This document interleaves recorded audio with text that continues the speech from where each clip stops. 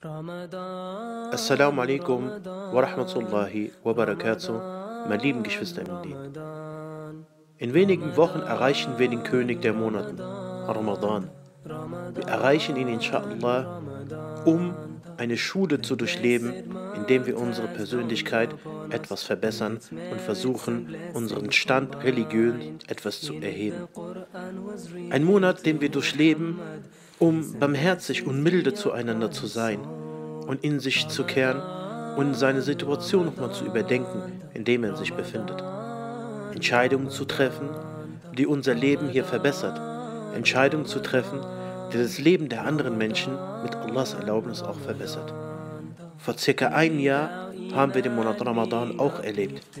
Nun können wir schauen, wie wir uns entwickelt haben ob wir einen Riesenschritt nach vorne gemacht haben oder ob wir stehen geblieben sind oder ob wir mehrere Schritte zurückgegangen sind. Diesen Zustand, diese Einschätzung kannst nur du über dich selber machen. Und somit können nur wir als Organisation euch dazu aufrufen, Menschen in Not zu helfen, ihnen das zu geben, was sie benötigen. Der Monat Ramadan ist eine Schule, um deinen Charakter zu verbessern. Der Monat Ramadan ist eine Gelegenheit, um die Barmherzigkeit aktiv umzusetzen, um die Menschen das zu geben, was sie benötigen.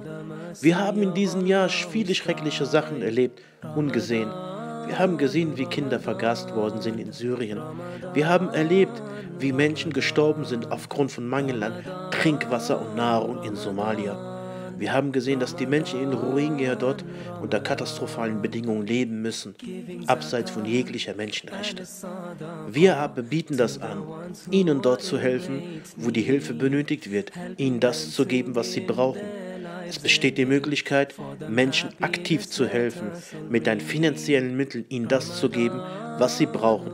Nahrung, Nahrung, um ihr Iftar einzunehmen, trinken und eine wenig Sicherheit für sie um ihre, ihre Angelegenheit zu verbessern. Lass diesen Ramadan dein bester Ramadan sein in deinem Leben, den du bis jetzt erlebt hast.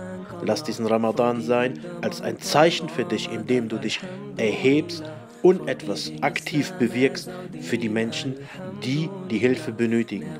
Jazakumullahu khairan wa barakallahu fikum, euer Geschwister von der internationalen Hilfsorganisation الرحمة. السلام عليكم ورحمة الله وبركاته. رمضان رمضان